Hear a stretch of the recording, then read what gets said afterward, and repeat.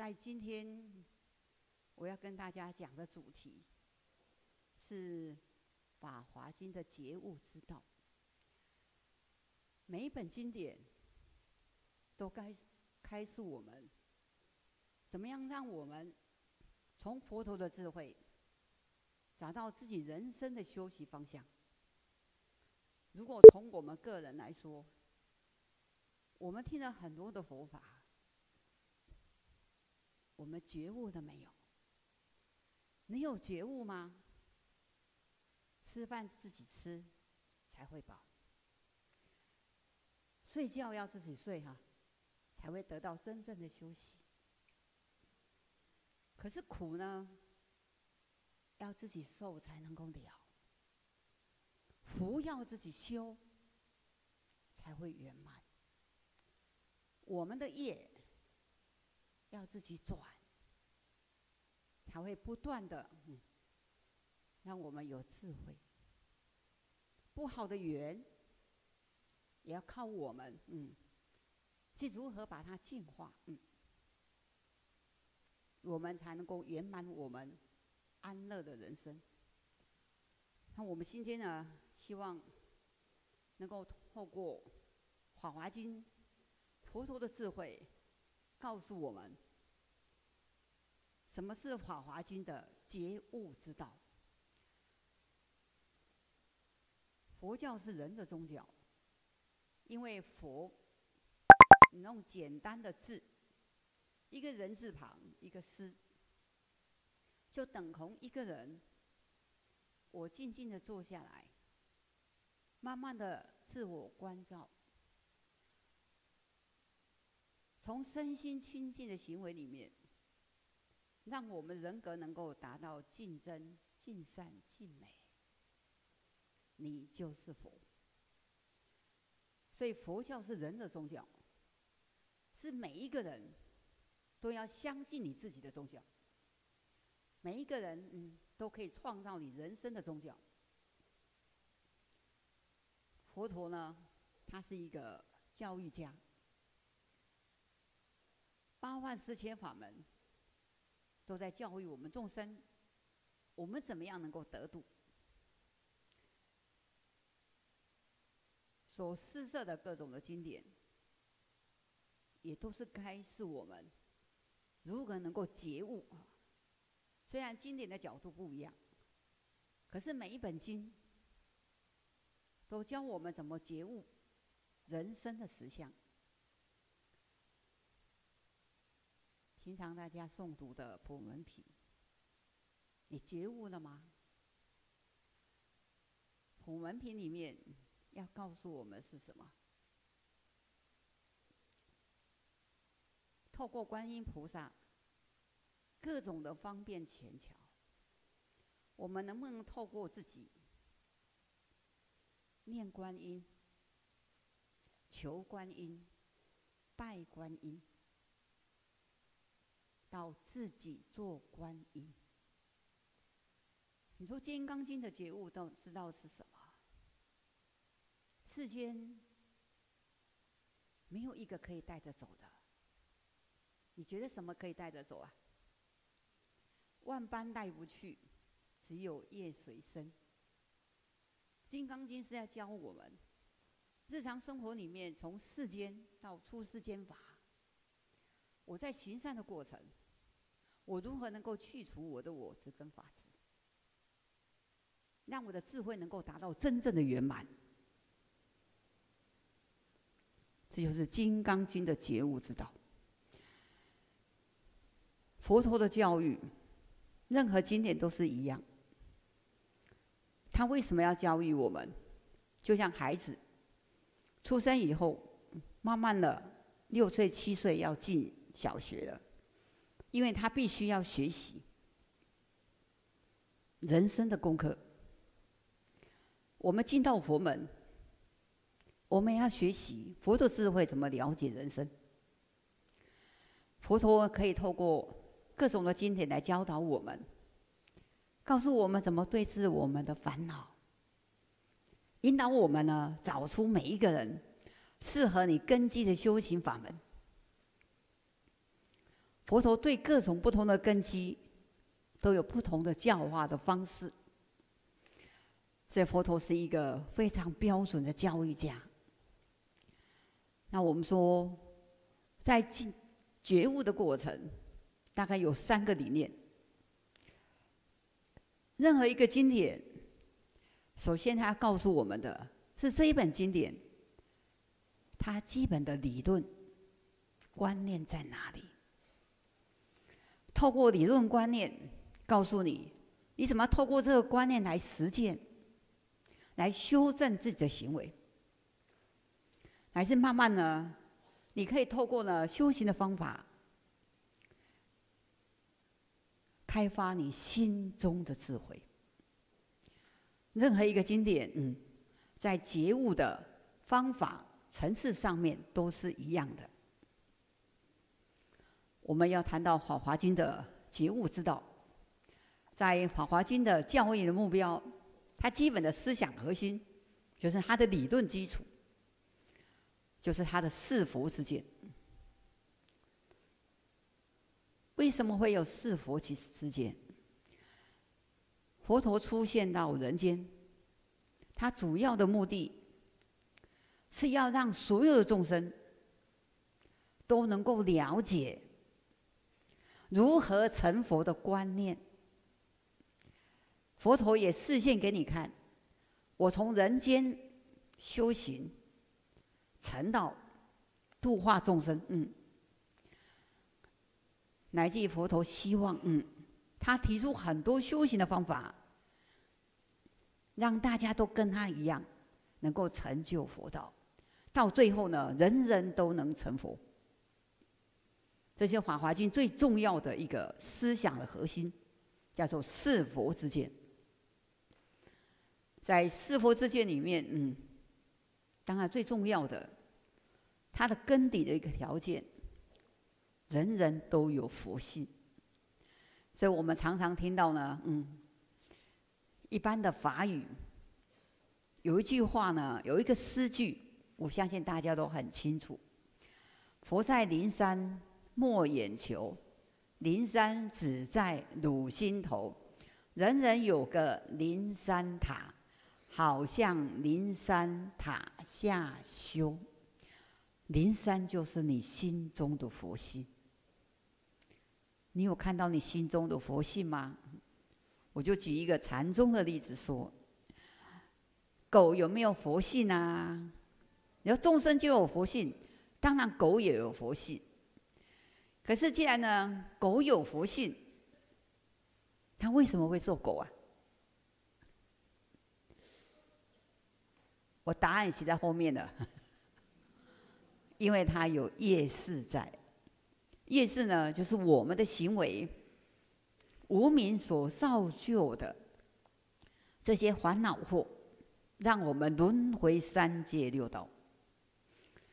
如果从我们的角度说，为什么佛成佛了，我还没有成佛？因为我们呢，还有业祸在。就是我们还有世间很多的因缘还没有圆满，所以我们必须要圆满世间的因缘，我们才能够集成佛道。当然有禅师说：“狗有佛性吗？没有。现在众生都有佛性，为什么他没有佛性呢？”他说：“他明知故犯。”什么意思呢？嗯，就是我们每一个人都有佛性。请问你要不要行佛啊？你要不要修行？不是只有学佛的人有佛性，所有众生都有佛性的。这个时代呢，科技非常的发达，网络呢，各种的新闻都非常的多元化，乃至呢，也嗯，可以了解很多嗯。世界各地啊，嗯叫做不可思议的现象。我们说曾曾经，这个韩国一个寺庙，他呢养了一只猫。一般寺庙是没有在养猫的，可是有时候猫会自己跑来。僧人呢不忍心，猫猫赶不走，常常在寺庙，当然就会施食给他。一施食呢，猫就不走了。这只猫呢，就每天就跟着僧人。这僧人在殿堂里面诵经，他就在殿堂外蹲着人们听。慢慢的听久了。只要听到木鱼声，他就冲到了大殿的门口，他就等着呢，跟僧人一起诵经。几年过去了，有一次，嗯，这个寺庙的香灯师早上呢到殿堂，嗯，开始呢，嗯，要燃香，要供水。这时候发现，这只猫竟然死在了中间和尚的蒲团下。他哪里为什么不嗯不去死？一定要死在佛殿？如果他没有佛性，任何一地方他都可以去，不是吗？我们从很多的现象里面，嗯，就可以了解。佛陀说：“众生皆有佛性，确实是都有佛性，只是他应该说，在我们角度来说叫灵性。他灵性有多少？嗯，狗当然也非常灵敏的。我们说呢，早期佛学院里有一只小黄，跟着师傅。”只要师傅到哪里去开示，他就走到哪里。可是小王是一只公狗，养在学院里面呢，学院礼众学部都是都是礼众，但是他呢非常守规矩的，他都知道这个寮区，嗯，东上西上都是寮区。所以呢，他呢看门的时候，他只会在四十坡的中间的二十坡。他会呢很晚了去开会回来，他会送你。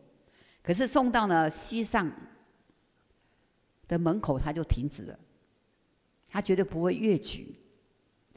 我说几年前呢，嗯，在水陆法会曾经有一个义工，就跑来跟我说：“老师，你认识小黄吗？”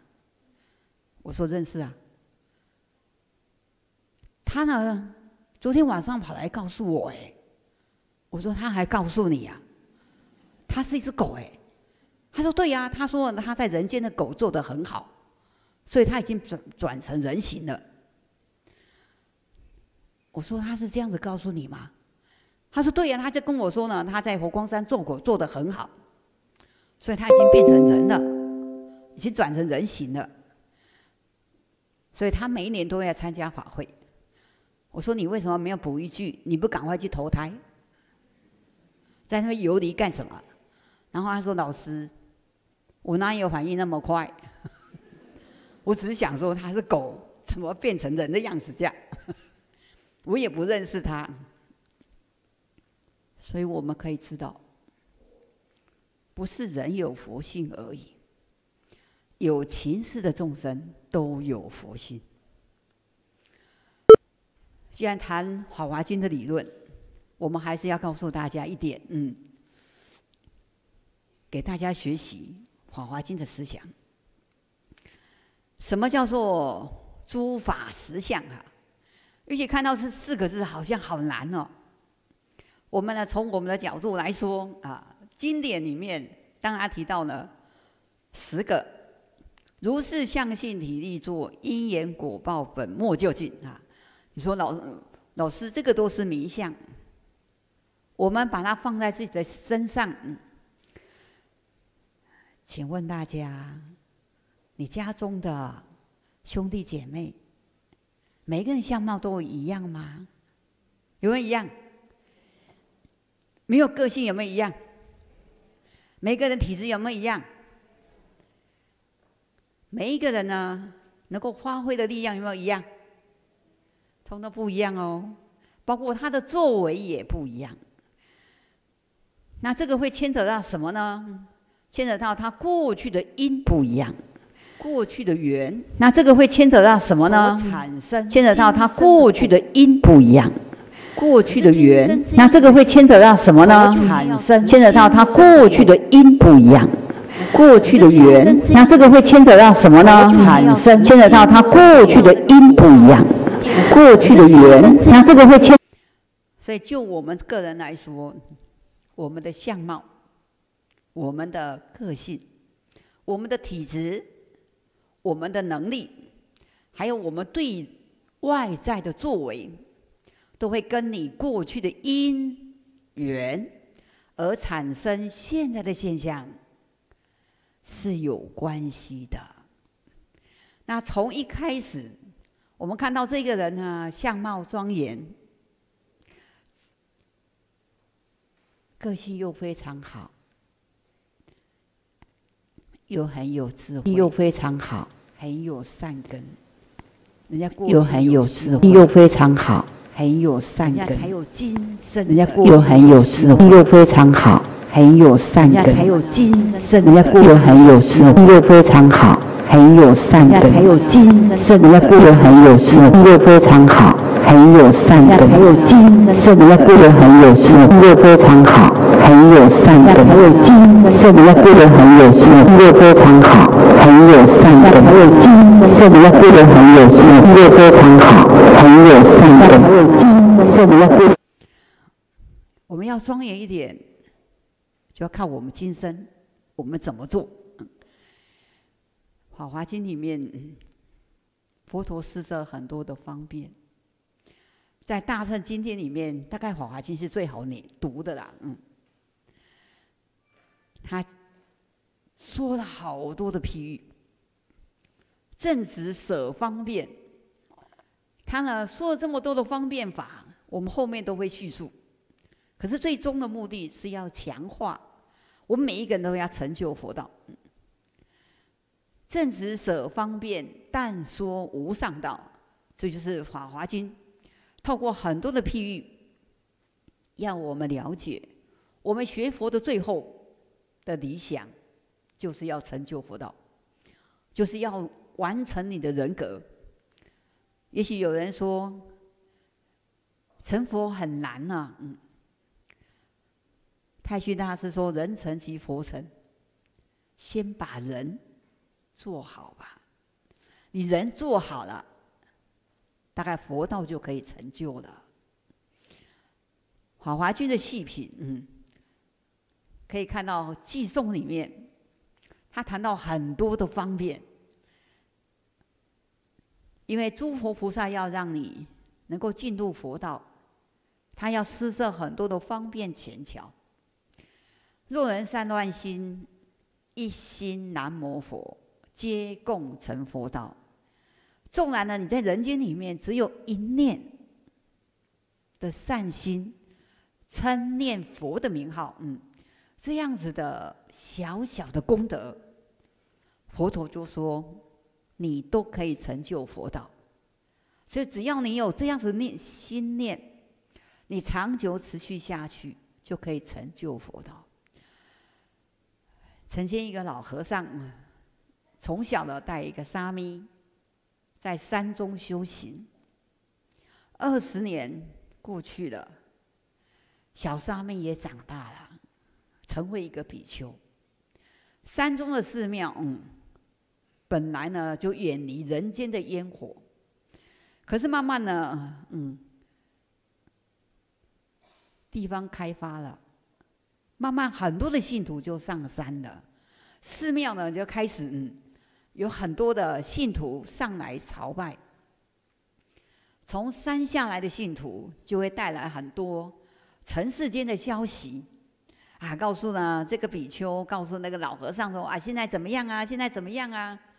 因为山中毕竟呢远离尘世，这个年轻人呢心里就想：哇，这个花花世界竟然有这么多啊新奇的东西。信徒来的说一点，那个信徒来的又说一点，久而久之，这个年轻的比丘就很想啊下山看看。就跟老和尚说：“嗯，他可不可以下去啊？”老和尚就跟跟他说：“修行人心怀三千大千世界，你下去了，你就不用上来了。”这个年轻人呢，嗯，在修道的过程，总是没有办法去避免他心中的好奇。隔了一阵子，很多的信徒就告诉他：“哎呀，现在又增加什么东西呀？又增加什么东西呀？”最后，这个年轻的比丘就跟着信徒下山的。下山以后，嗯，那老和尚呢，他也不会去找。这样子呢，十八年过去了。有一次，这个年轻的比丘回来了，就跟老和尚说：“嗯，我现在呢要重新修行，师傅，你可以收我吗？”这个老和尚就说了：“如果石桌上可以长莲花，我就收你。”佛桌是石桌的，石头的桌子怎么可能长莲花？这个年轻人呢，嗯，当然已经变成中年人了。一听，师父不能原谅他，当然转头就走了。隔天，老和尚起来做早课。可是他竟然发现，石桌上真的长莲花了。为什么？因为众生皆有佛性，佛从来没有舍弃任何一个人呐。我们希望我们要爱惜自己心中的佛性。《华经》的教学方法，它非常的特殊。佛陀呢，就自己说啊，从佛陀度化众生以来，我说佛陀传记里面，佛陀离开呢他的菩提树下金刚座，往呢鹿野苑度化五比丘，最先说法就是三法印、四圣谛。说的是声闻跟缘觉法。这时候佛陀要说，嗯，因为那时候已经佛陀的晚年了，佛陀就说了：“我在人生里面呢，告诉大家的声闻缘觉的法都是方便。我最主要是，嗯，要让大家都能够成就佛道。那为了，嗯，来显示佛道，嗯，怎么能够成就？”在《法华经》的后十四品，从呢，嗯，从第庸出品第十五的后半品开始，嗯，就进入呢，嗯，本门后面叫做本门哈，它本身的正中分，嗯，佛陀要开始显示，嗯，我们众生都有佛性的法身智慧，嗯，而这个法身智慧。就是真理。如果透过另外一个角度来说，就是空性慧了。嗯，《华经》它的主要的目的，是把他之前嗯佛陀之前所说的声闻、缘觉、辟支佛嗯的法门，都告诉你。嗯，这个呢都是我施设的方便。最后呢，是要让这样大家都能够成就佛道。嗯，这个教学方法，佛陀是非常厉害的，尤其在《法华经》，嗯，它本身呢，嗯，用了很多嗯不同的讲说的方式。那我们说《法华经》最特别的，就是它的层次上面非常的清楚。第一个呢，我们叫做法说，就是直接告诉你真理的实相。它的对象呢，就是舍利佛。那什么叫真理实相？我们呢，嗯，相信我们很多的菩萨都希望以后能够往生西方净土，对吗？那我如果告诉你说，《阿弥陀经》说的十万亿佛土，在娑婆世界的十万亿佛土之外啊，它有一个西方的极乐世界。阿弥陀佛发了四十八大愿，愿愿度众生，这是弥陀的方便前巧。那如果要从实相来说，请问净土在哪里？西方净土在哪里啊？其实真正告诉你的实相来说，其实净土在你的心中。可是你如何在心中里面创造自己的净土？极乐世界失一得一，失时得时。阿弥陀经告诉你，不可少善根福德因缘得生彼国，就是告诉你，你的心中如果要成就净土，你必须要广修福德。你去到实极乐世界，才能够失一得一，失时得时嘛。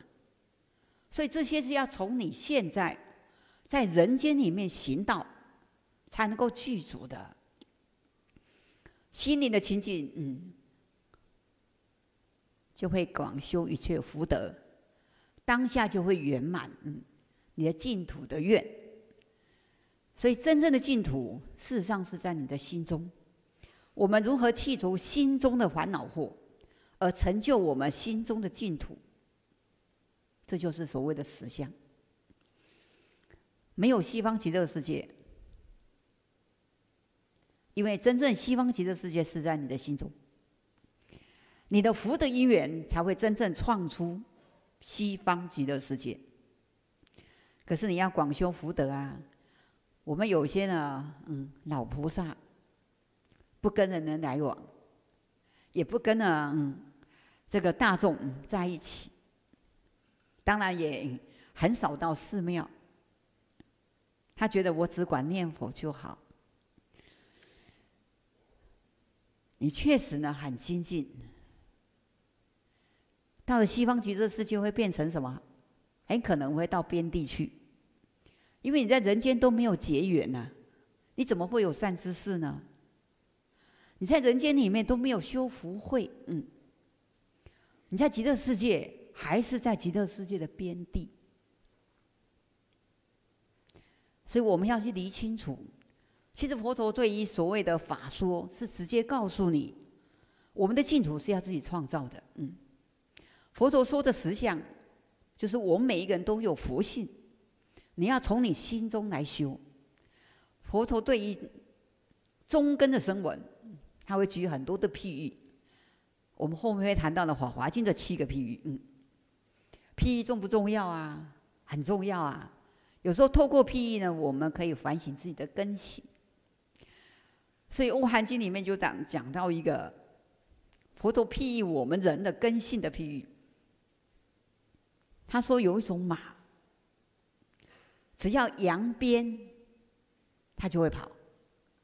可是有一种马呢，这个鞭子呢必须要碰到皮肤，它才会跑。可是呢，第三种马呢，是鞭子要打到肉里面呢，它才会跑。第四种马呢，要痛彻入骨啊，这个马才会跑。它是象征我们的人的四个根性。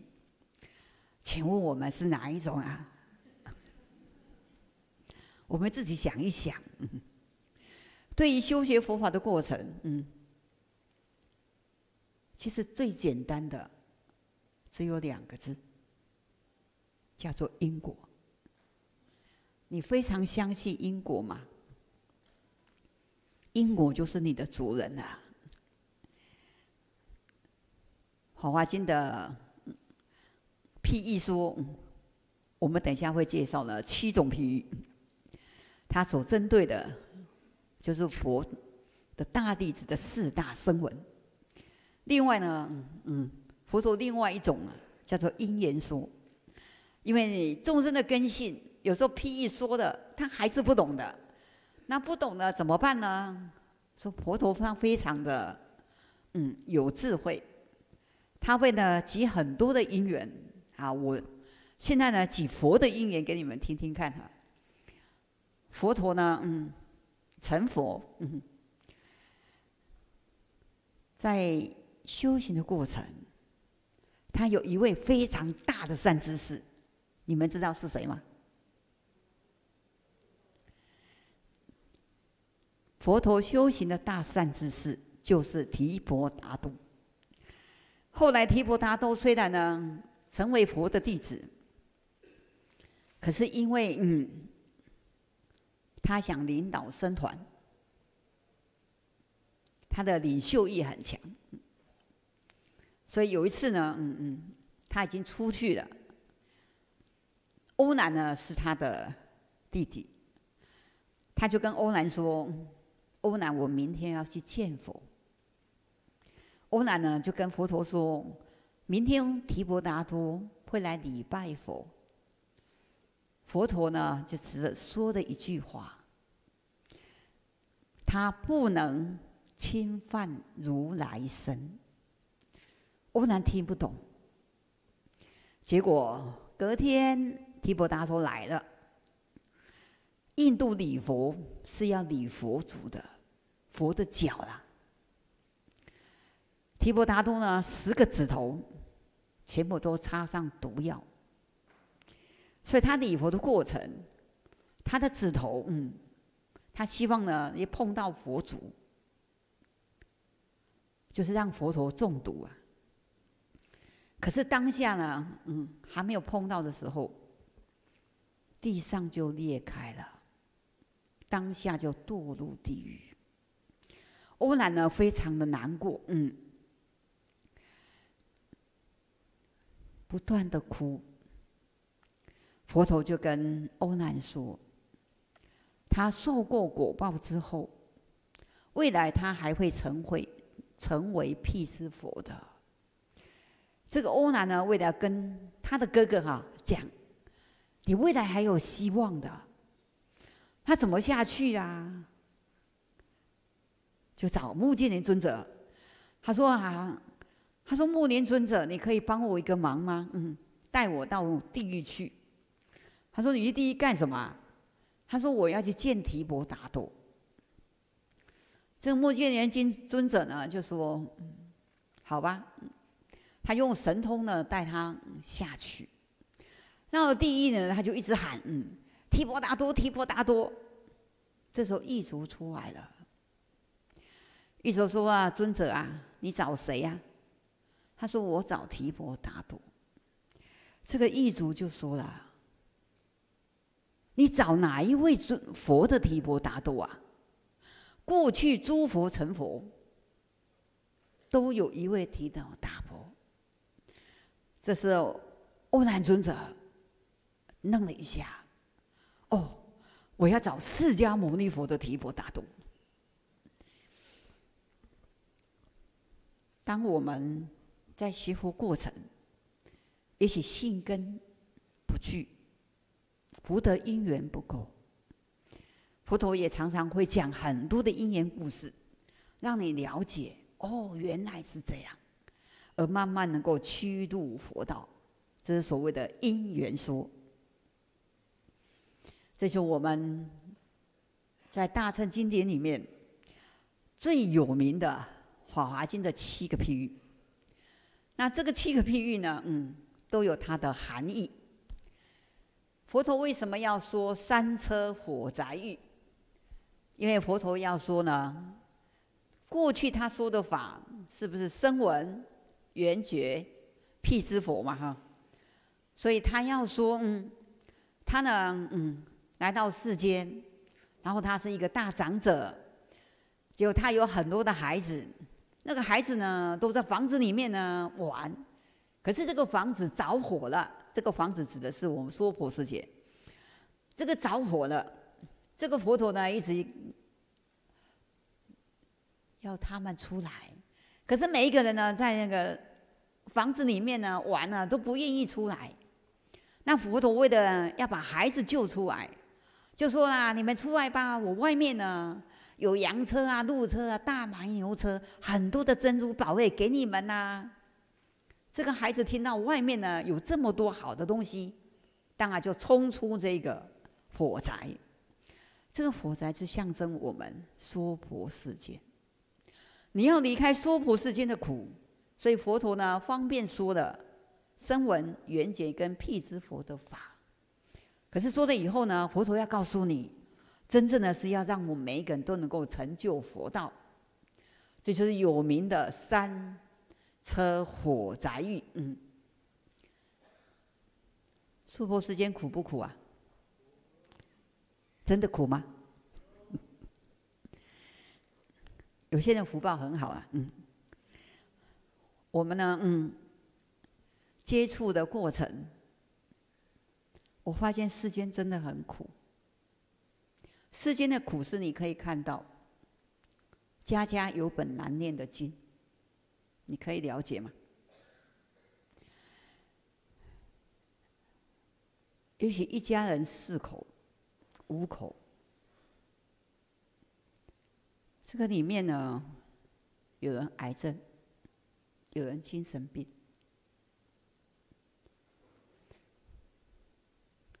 你生在这个家里面，你会不会担心呐？当然，你也希望，嗯。家里面的人都能够得到安乐，可是只要有一个人病，我相信大家都不容易放下这个担子吧。所以人生有无谓的苦太多了，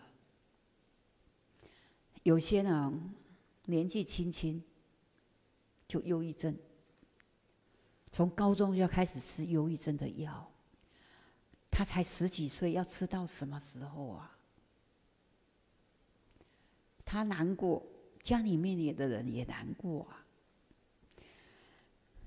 所以我们怎么样能够体会世间的苦，让大家能够修学佛法的过程，让自己自在安乐一点。我们也希望我们所得的佛法，能够帮助周边需要的众生。穷子玉。说的是我们的佛性。他说呢，有一个呢非常穷的人，到处乞讨。他的朋友呢，嗯，有一次遇到他了，啊，就请他吃饭。在吃饭里面呢，嗯，这个穷子因为呢，嗯，吃的好难得，吃的太好了，就睡着了。这个朋友要离开，又不忍心这一个穷子这样子到处祈祷，就在他的衣服里面就放了一颗珍珠，就离开了。可是隔了呢一二十年，在路上他又碰到这一个朋友了。这个朋友呢就告诉他：“你为什么还在乞讨啊？”他说：“我嗯。”没有福，没有慧呀。这个朋友说：“我离开的时候，我不是在你的衣服里面，嗯，放了一颗珍珠吗？那颗珍珠就够你生活了。”他就说：“有吗？有吗？”嗯。结果反观的时候，嗯，才慢慢发现，他衣服里面确实有一颗珍珠。这颗珍珠是什么？我每一个人的福心。你要出离世间吗？嗯，要透过你心中的佛性来修。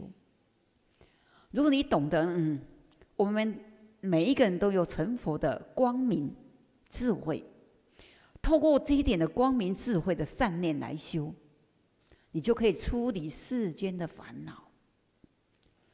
但我们世间的烦恼太多了。你说我烦恼来的时候，请问你依止什么？你依止什么？靠人会老，靠山会倒，对不对？啊，你要靠什么？靠自己最好哈。那你如果你心中没有主，没有医治，你有办法靠自己吗？你自己都很茫然，对吧？就像我们一个老菩萨非常可爱，竟然问我说：“师傅啊，我突然想到哈，这个我们入往生的时候啊，家中会有牌位，然后呢，这个埋葬的地方哈。”比方土葬啊、火葬的地方啊、骨灰的地方，也会有放。那我们那时候呢，是要住在哪里呀？是要住在家里的牌位呢，还是住在骨灰的上面呢？我说啊，你要往生净土，你干嘛住在人间？你现在不是在修的吗？他说是啊。嗯我说现现在既然你在修，你就往生净土就好了。师傅啊，那个子孙会给我拜呀。我说我知道啊，但是他们如果给你上香的时候，你再下来就好了，不是吗？你要天天在这边吗？我说五浊恶世的浊气很重哎，嗯嗯，你平常呢可以住在净土里面，嗯，等到他们呢真的需要你哈，哎，跟你上个香祭拜的时候。嗯，你怀念他一下，你再下来就好了嘛。我我们说呢，如果我们懂得心中的主，你人生的方向有个目标，我相信你处处就不会迷。佛性就是你最大的医治。佛陀说法，一因眼说法，众生随类各得解，是吗？所以佛陀呢？在药草一品里面就说，一样的雨下下来，当然有草啊，草有小草、中草、大草，对不对？有小树、大树，请问你是哪一棵树啊？就是我们听闻佛法的当下，你能够相信、体会多少？那就是我们的根基。但是每一个人呢，嗯。随你的因缘，不管听多少，八万四千法门，门门入道的，不是呢？我要懂得很多，我才能够成就佛道。很多的学者不是很有学问吗？他不是懂得佛学比你还要多吗？那为什么早期会有国学大师？要去皈依广清老和尚，因为文字的东西永远都是文字，它不能成为我们心中的医治。我们不要做佛学的收藏家。我听闻很多的佛法，我了解很多的经论，这些思想概念，它是要让你用的，让你在生活上面实践的。我们不是用佛法来要求别人，我们是要用佛法来修正自己，才是真正的修行。所以佛陀告诉我们：，嗯，你听闻多少都没有关系，只要你能够相信，能够实践，你必然成就佛道。我刚才说呢，佛陀在《法华经》里面一直强调着。我过去说的声闻缘觉辟支佛的法，都是方便，嗯，就像我们从高雄到了中部的福山市，中间有经过很多的休息站，对不对？假设我的目的地是福山市，可是我中间的休息站是我暂时休息的地方，所以佛陀就说，我所说的声闻缘觉跟辟支的佛的法。是怕众生一开始呢学习佛道的过程会嫌呢，哎呀，成佛那么遥远，我就干脆不要成佛了。所以佛陀呢就施设一些方便，然后休息站啊，哎，路途太遥远了，没有关系，你中间休息一下再出发。可是呢，嗯，你既然已经呢证得声闻缘觉辟支佛，要知道你最终的目的是要成就佛道。就像我们所有未来要往生西方净土的莲友，你可以知道吗？你最终的目的是要干什么？我们有没有人可以告诉我，你到西方极乐世界做什么？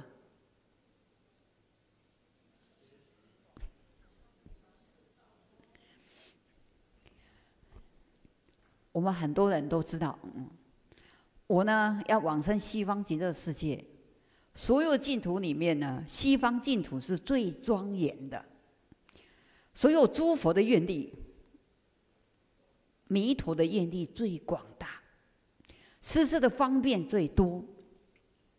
可是不要忘记哦，你到西方极乐世界，修到上品上身。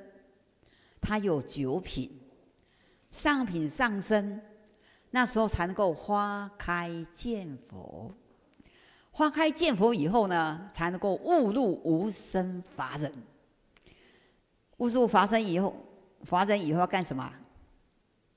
要趁愿再来人间，是要来人间成就佛道的。上品上身等同菩萨道的不动地，嗯。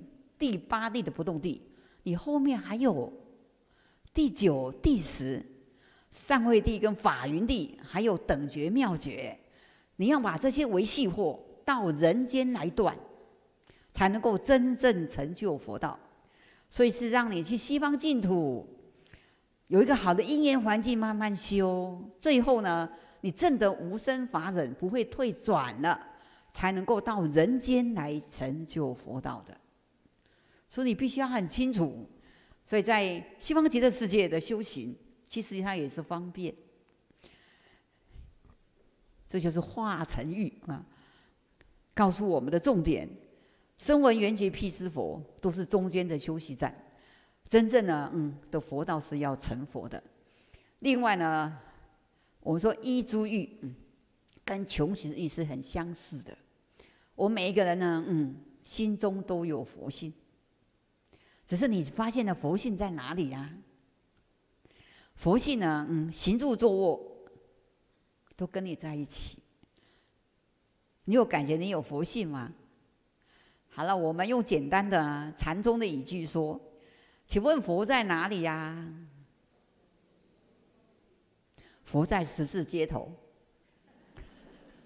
佛为什么跑到十字街头呢？嗯，我们的念头会不会善？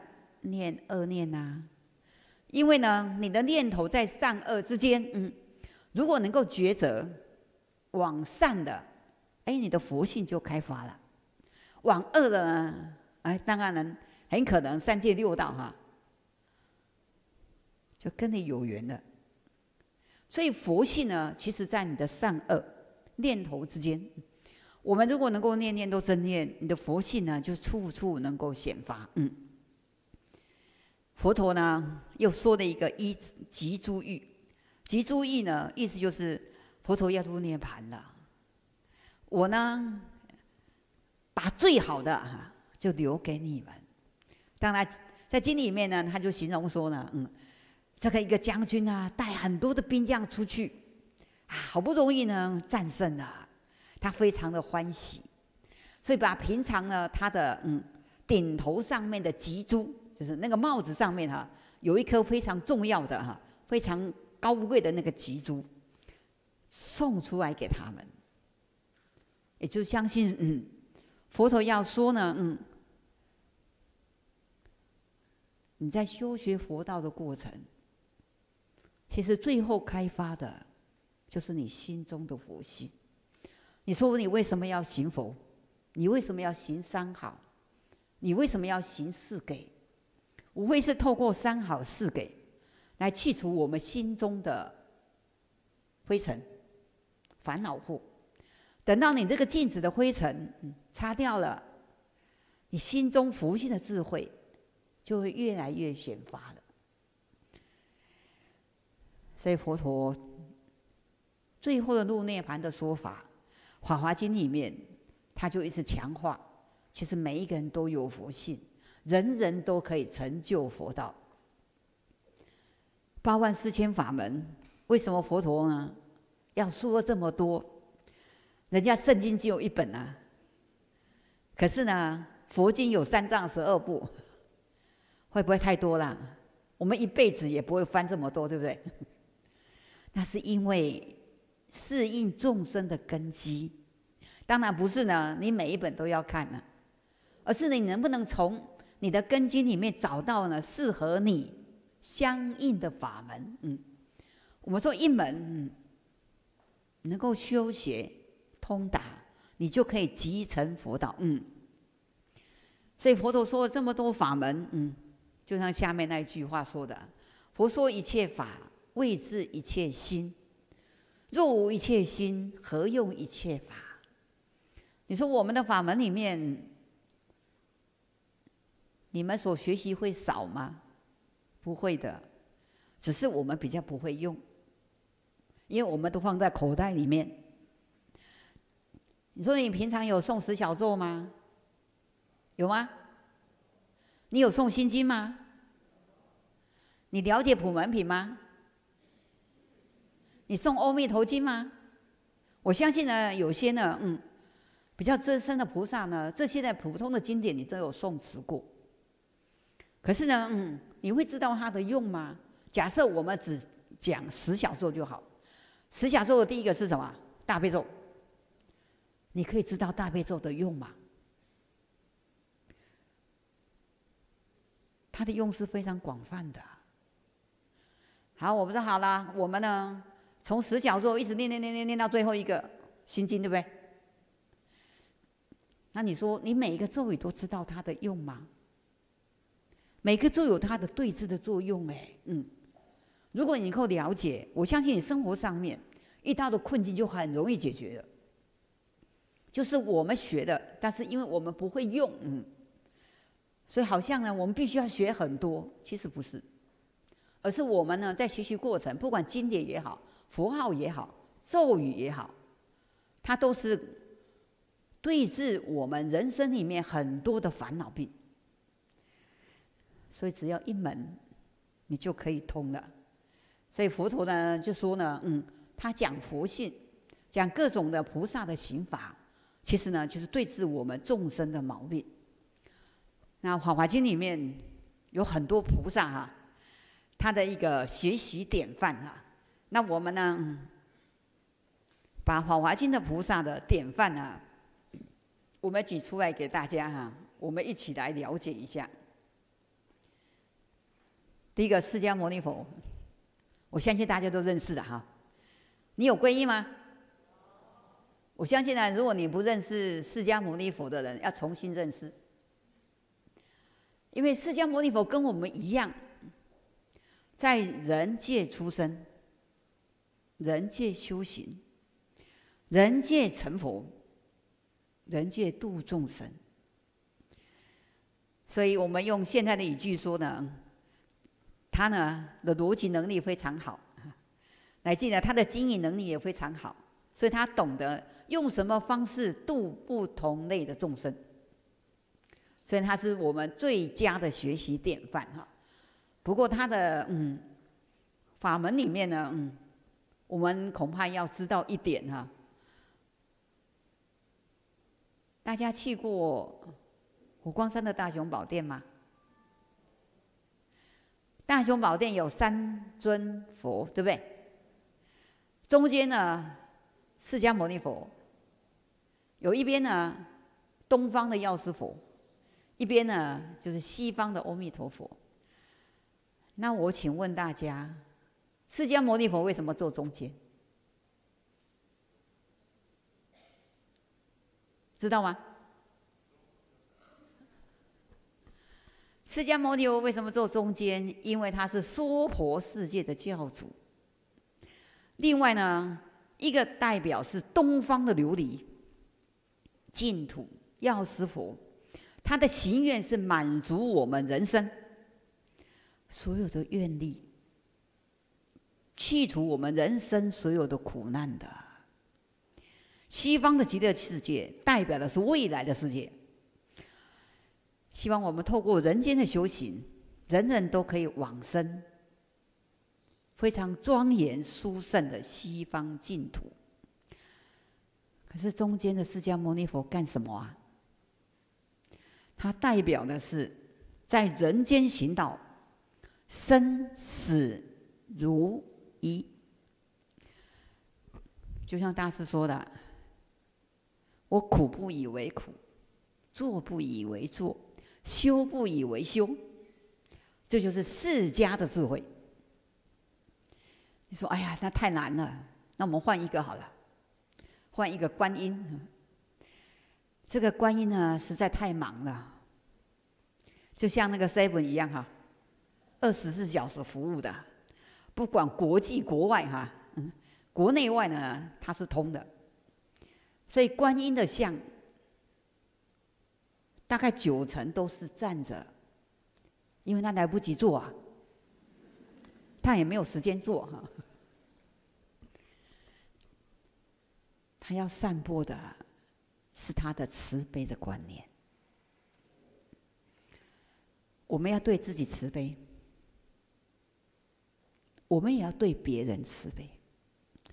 可是如何对自己慈悲呢？要帮助自己。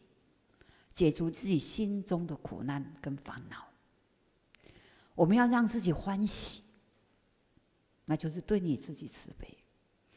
所以不要把别人的烦恼放在身上，也不要看到别人的烦恼，用别人的烦恼来处罚自己，那就是你对你自己慈悲。你要越好，嗯，当然要对自己好。你懂得对自己慈悲的人。你才懂得对别人如何慈悲，所以大师告诉我们说：“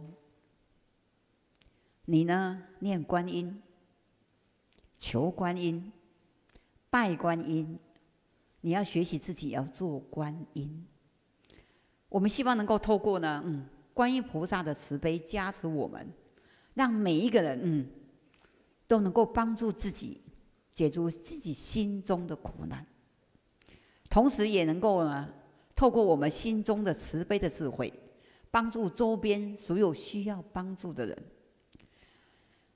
另外一个呢，他也很简单，常不轻菩萨哈，我不敢轻视汝等，汝等皆当作佛。他尊重所有人等，尊重很重要哦，嗯，因为我们的一句话，我们的一个语言，一个脸色。也很容易让别人起烦恼啊！你说呢？嗯，我们日常生活里面，嗯，人世之间，嗯，就是因为口业，因为一个表情，就会有是非，对吗？如果我们懂得尊重别人，你的人际关系就会很好。我不敢轻视汝等，汝等皆当作佛。我觉得那个尊重是很重要的，当然这个尊重呢，还包括呢，不是人的尊重而已，而是对所有一切，包括动物也好，包括你使用的东西也好，因为像桌子椅子，它也有生命啊，因为它也会有生住异灭嘛，成住坏空。当然我知道了，用久了当然它会坏，可是你能不能保持它的一个最高的年限？你的习福，其实就是嗯，我们的一种尊重，就像我们的走路啊，我们的开门呐，你要不要尊重一下啊？我们周边还有其他的人，所以我开门的声音，我走路的音声，我可不可以减到最低？那就是一种尊重。就像说我们最平常的行为，我们上个进房，嗯，我要离开的时候。请你看一下哈，你投篮有没有投准？为什么？我们希望呢，我们给别人的是一个亲近的好的地方的使用，因为呢，你进去你也不希望看到不好的吧，对不对？看到污秽的，那同时呢，我们能为什么不能让自己在每个行为上下，我们也尊重别人，时时关照自己，让别人看了他也很欢喜。我说这就是一个尊重的理念，嗯。所以我们希望我们也能够学常不轻菩萨，人人都懂得尊重。龙女，《华华经》的八岁的龙女，她就成就佛道了。你说哇，八岁，实在太厉害了。也许我们呢，嗯，活到这一把年纪的，不知道悟了多少啊。人家八岁就成就佛道，可是呢，这个八岁的龙女，嗯，她过去是很有善根的。就像呢，现在呢，我们呢，嗯。在我们的生活区域里面呢，嗯，我们很多的菩萨们都很有善根，所以呢，他们呢，嗯孩子呢，媳妇、女儿，嗯，怀孕对不对？就会开始来求，开始呢，哎呀，送普文品啊，送药师经啊，有些人很喜欢送地藏经啊，你的目的是什么？我就希望呢，可以让呢母子能够平安，能够让他们呢母子都能够姻缘很好。所以现在有些孩子是非常聪明的，非常有智慧的，因为他是求来的，他不是因为你的业力而来的。我们曾经一个六岁的小男孩，他在寺庙里面呢，哦，常常这个妈妈就会带他嗯参加佛期。久而久之呢，他回去自己就会做法会，再拿一个那个牛奶罐哈，自己敲，自己念佛，才六岁而已。那你说，嗯，我们有很多人第一次到佛门，他也不信佛，他也许呢，嗯，连佛都不拜，连佛呢，嗯，他都不会敬仰的。可是你看，六岁的孩子，嗯，他看到佛像会自己礼拜，自己合掌，学完佛号回去，自己会自己做早晚课，不是八岁龙女呀，而是我们现今，嗯，所有的嗯菩萨们哈，有很多为了下一代啊，在佛的修持法门里面，嗯。都希望把好的因缘留给后代，应该说留智慧给后代，嗯，就像龙女一样，嗯，所以我们也要学习啊。以后呢，能不能让你的孩子呢，嗯，越来越好？要让他们学佛。另外呢，当然我们也要做一个多宝佛哈，就是后援部队。释迦牟尼佛说《法华经》，这个多宝佛呢，从多宝佛塔来到人间。这个多宝佛塔不是开了吗？然后让了半座哈，请释迦牟尼佛坐嘛。所以多宝佛呢，他就说呢，我是因为呢，这个释迦牟尼佛说《法华经》，我也要来证明《法华经》的殊胜，所以我才来到人间。我们所有的义工菩萨帮忙到场成就佛事，其实你就是最佳的后援部队。每一个人呢，都是多宝佛，嗯，希望呢，我们也可以在日常生活里面，只要哪些地方需要，都是我们服务的地方，服务的道场，因为我们要学习多宝佛，护持所有众生，嗯，妙庄严王菩萨的学佛哈，这个跟大家是有关系的。妙庄严王呢，他的孩子呢，非常厉害的哈，啊有神通。可是呢，这个妙庄严王是一个外道哈，所以他的母亲呢，嗯嗯，就跟他说呢，哎呀，你要出家啊，嗯，你要去说服你父亲。他怎么说服他呢？因为他有神通，他就一下子呢，变化大身，大的身相啊，小的身相，身上出火。等一下，身上出水，在这个妙庄严王就发现你怎么那么厉害呀？你的师父是谁呀？他说呢，我要皈依，跟释迦牟尼佛出家。妙庄严王就说：“那你带我去，带我去。”他见了佛陀以后，听闻佛陀的法，最后呢，他的王位也不要了，因为他也要跟佛陀出家了。这个象征什么呢？我们来学佛的过程，你要不要透过你的因缘度家里面的人呢？你要学习度人呢，度你家里面的父母，度你家中的亲属。法会到了，你为什么要超荐？过去的累劫的父母，历代的祖先，过去他们没有学佛的，我们希望我们要透过我今生的修持超荐的法会，也让他们能够共成佛道，就是。妙庄严王他的学佛告诉我们的观念，所以人世间不是你一个人，嗯，就像呢，有人问啊，我自己一个人吃素吃的很好啊，嗯，我为什么一定要皈依？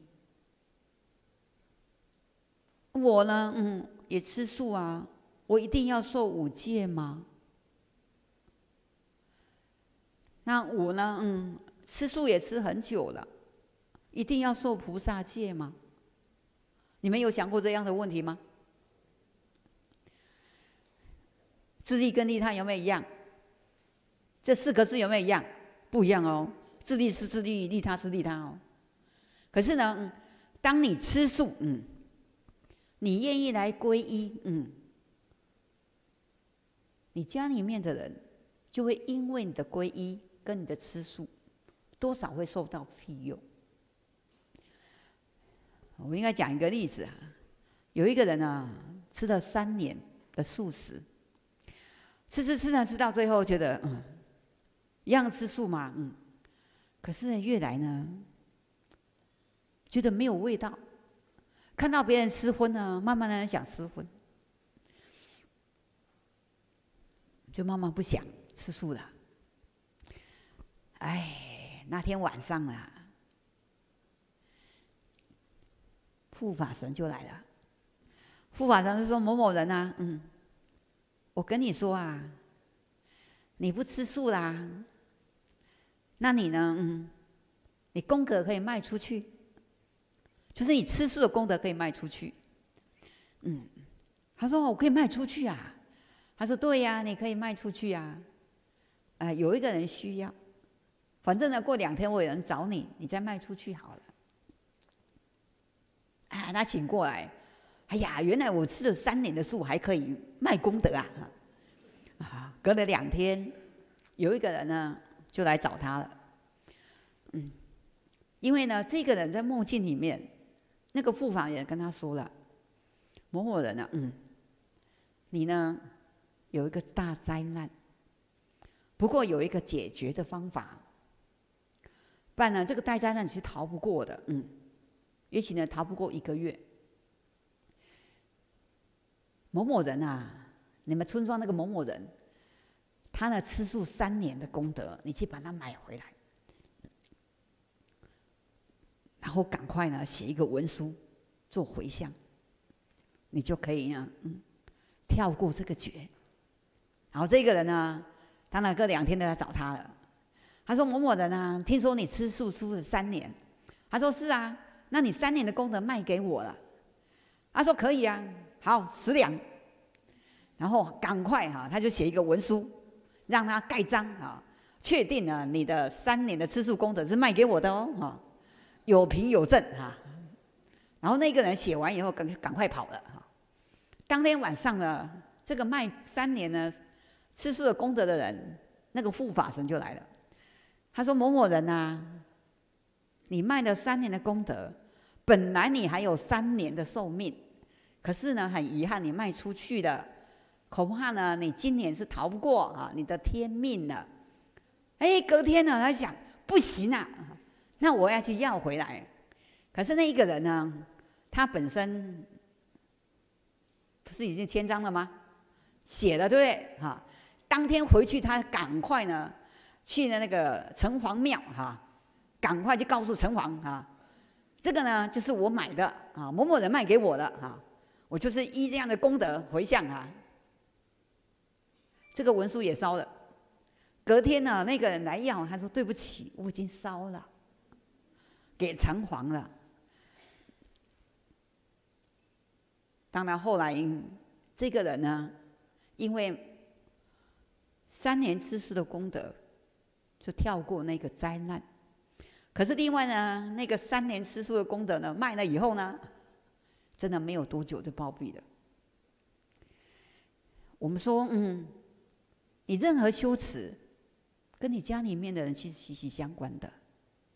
你多行善事，他们呢就会多一点平安顺遂。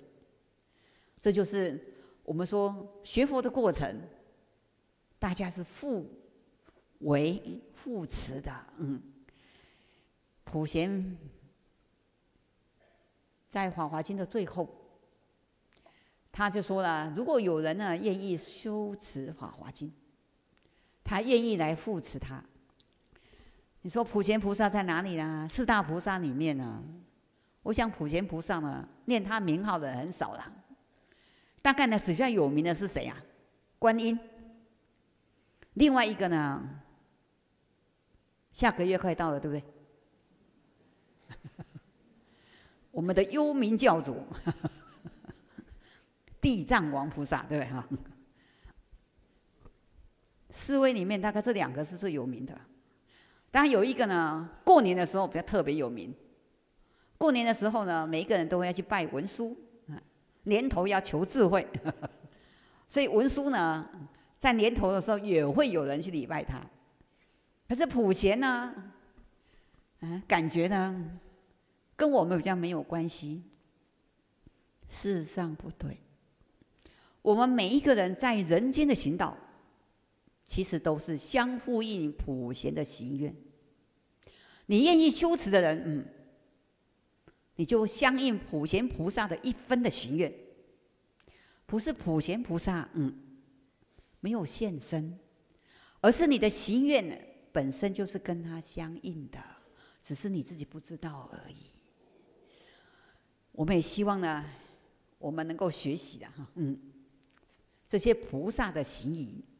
当然，另外呢，我们，在生活上的修持，因为既然要觉悟嘛，嗯，在《嗯华经》里面，嗯，安乐行品的第十四，嗯，它有所谓的四安乐行。那这个四安乐行，我觉得可以配合这个大师的三好：身做好事。口说好话，意存好心，哎，这个很重要哎。当然，《法华经》里面呢，这个是《法华经》的戒律，在身相上面，你有哪些呢？可以做，哪些不可以做？口业上面有哪些可以说，哪些不可以说？他把你规范的非常的清楚，包括你的意念呢，你哪些可以想，哪些不可以想，他是规范的很清楚的。如果能够把《法华经》的一个四个安乐行，配合呢大师的三好，哇！你是人间的最高级的菩萨哈，最有智慧的菩萨，因为你懂得自利之外，还懂得利他，嗯，这就是生活上的修持，嗯。《法华经》影响了天台宗的教育思想，跟天台宗的创立。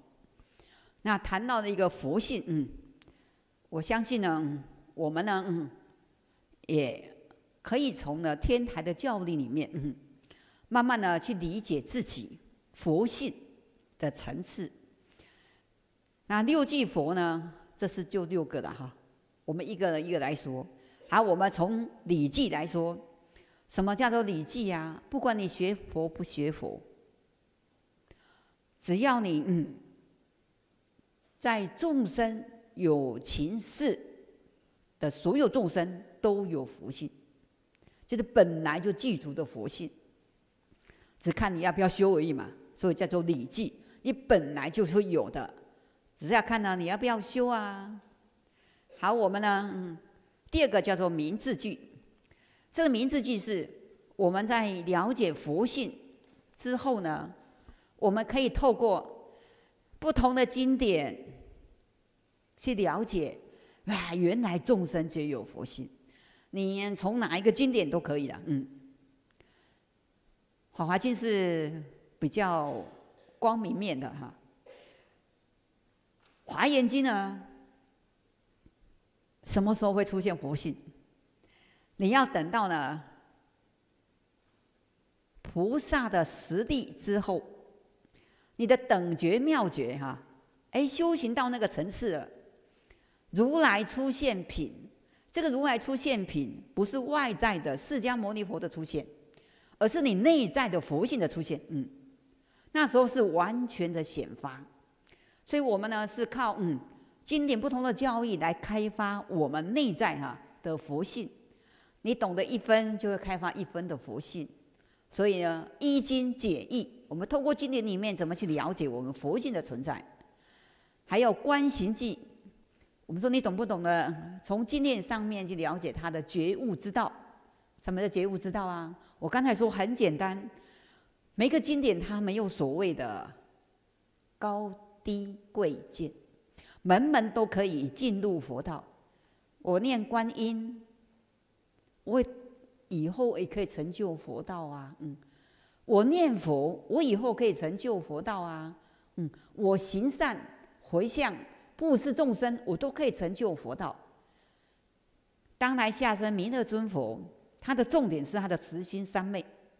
我用慈悲心对待一切的众生，我都给人欢喜，给人信心。你以后也可以成就佛道。这叫做观行记。我透过我的修行，可以慢慢的去除我的烦恼，慢慢积聚我的福德智慧。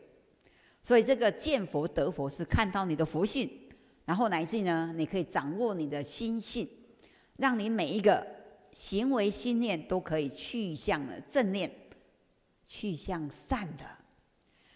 相似记，这个慢慢有点功夫的了，就懂得我们在心念上的关照了。菩萨为因，众生为果，对不对？我们现在究竟是众生呢，还是菩萨呢？就看我们的心念。你能不能在每一个心念当下，你要起的时候，马上就知道哪些心念可以起，哪些心念不可以起。曾经一个寺庙的老和尚，在黄昏的时候，天色已经暗了，大概呢钥匙过后了，他就在那寺庙的那个广场惊醒。哎，就看到了一个年轻人呢，跑过去。可是呢，因为呢黄昏了，已经天色非常的暗了，这个老和尚就发现了，哎呦，这个年轻人的后面呢跟了一堆的黑影。可是已经跑过去了，跑过去呢，大概呢隔了一阵子，那个年轻人啊，就走到寺庙里面来。那个年轻人呢，就垂头丧气。那老和尚呢，就看到啊年轻人呐，你怎么这么无精打采呀，这么失意呀？他说：“师傅啊，不瞒你说啊，我呢在外面呢工作了几年，我的所有的嗯得到的积蓄要拿回家过年，可是我的朋友全部把我拐走了。”一毛钱都没有留给我，我不知道我怎么回家，啊，我非常的生气，所以我刚才是拿一把刀，要杀他的父母，杀他的妻子的。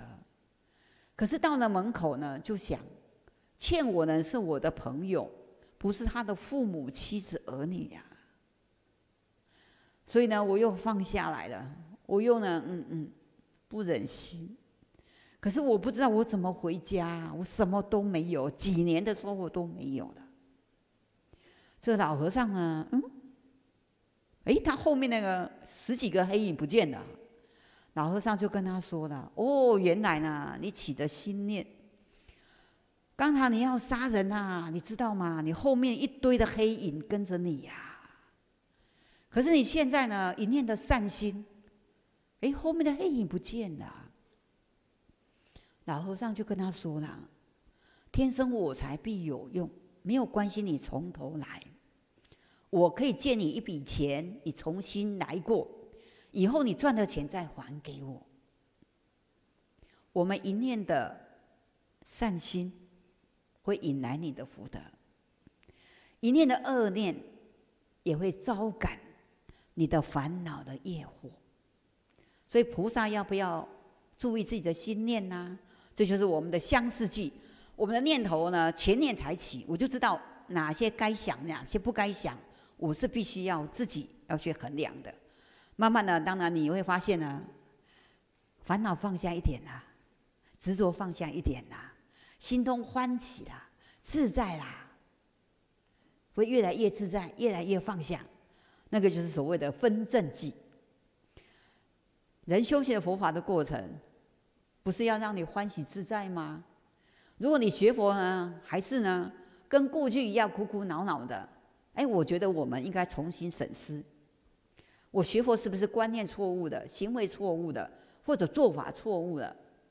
我们希望我们越学佛的过程是越有智慧的。到了就近际，当然这个成就佛道的时候了。本身呢，你会懂得人世间必须要放下我执，不要有我的存在，我融入大众的一面。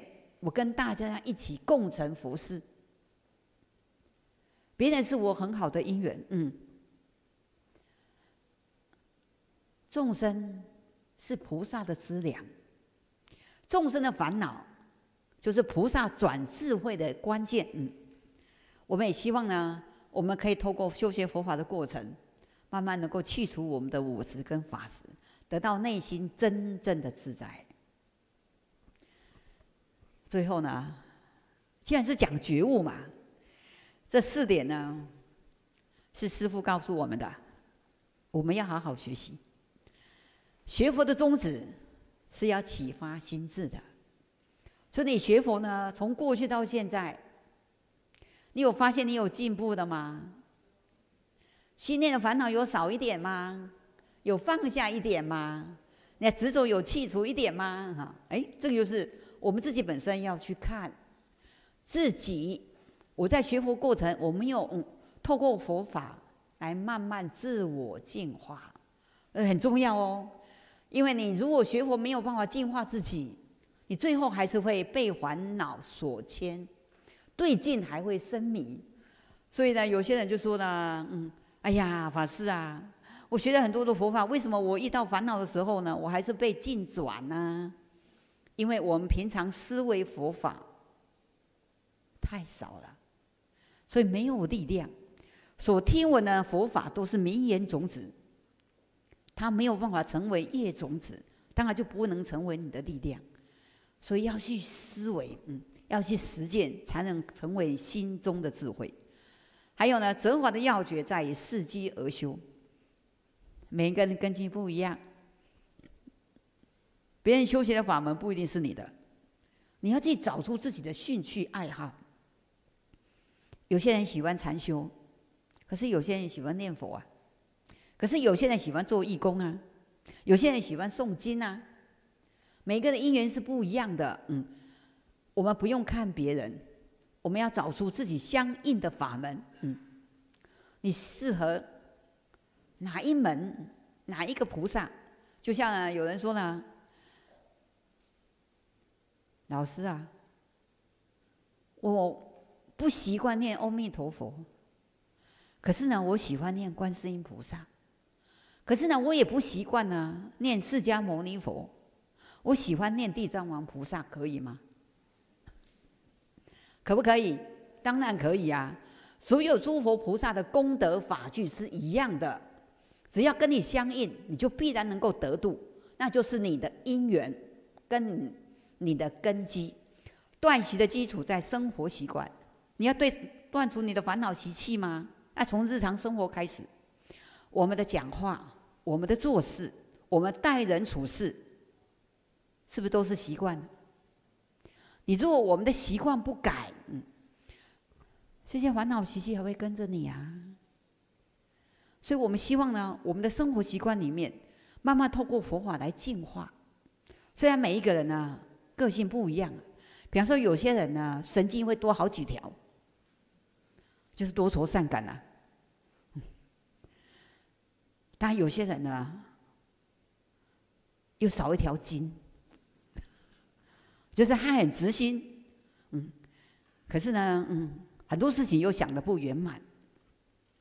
可是我觉得，嗯，每个人本来就会有不圆满的地方，但是在修习佛法过程都会开智慧的。只要你懂得，我从日常生活里面去慢慢断除自己的烦恼，断除自己习气，去改变自己，你就会进步了。修行目的呢，在于完成人格。什么叫做修行啊？修正我们的行为。不是呢，我坐在那边呢，念佛啊、诵经啊、拜佛才是修行，其实不是的。我透过外在的这些的修持，我们能不能帮助自己内心的净化，帮助自己烦恼的去除，帮助自己习惯上面呢不好的习惯的改变，那才是真正的修行。佛光会的四季记，我相信大家都会背哈。那四四季句。其实就是告诉我们，日常生活里面怎么修行。那我们希望呢，嗯，我们每一个人，嗯，在日常生活里面都可以关照自己的心念，然后呢，透过佛法的角度提升自己的思想，也透过呢我们对佛法的领悟，在修行上面更懂得找出自己的方向目标。最重要的，当然透过这些的观念。要找出自己的觉悟之道，因为人生是要自己创造的，未来的净土是要自己修的。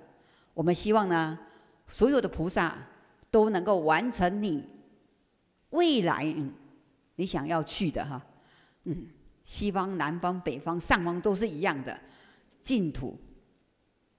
更重要的，我们要先成就我们现今的人间净土。